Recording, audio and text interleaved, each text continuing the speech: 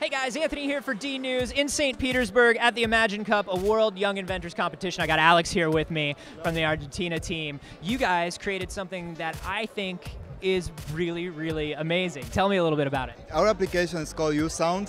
USound is an application that takes advantage of the phone processing capability to work as a digitally programmed hearing aid. What it does, it lets people that has a hearing impairment, uh, instead of using the standard hearing aids, use USound with uh, these uh, uh, headphones, which are much cooler. My father wears a hearing aid and it was like a $3,000 hearing aid.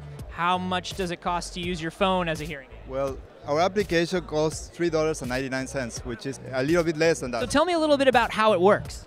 Well, what it does, it lets you input the audiometric test that an audiologist give you, or if you don't want to, you can go to a quiet place and do the U test, which basically does the same that an audiologist does, but it, this is just an estimate.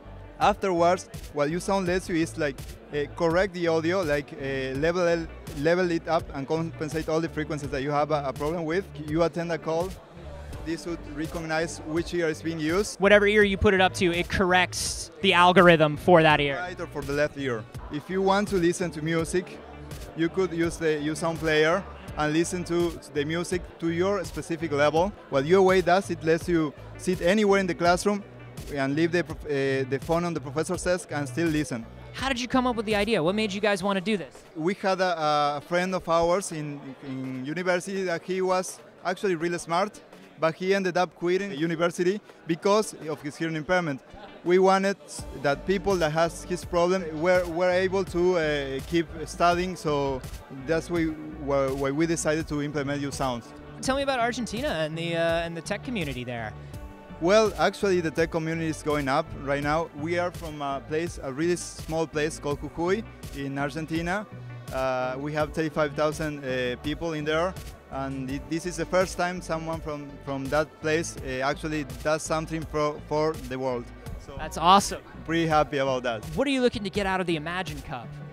We can get to finish up this project, and we can uh, put it in the whole world so that people with hearing impairment can get access to some uh, solution like this. Excellent. Well, best of luck to you, Alex. And remember, we have more from the Imagine Cup all week here on DNews. News. There are so many amazing inventions, also amazing games. So go check out youtube.com slash rev3games to see all the coverage of those.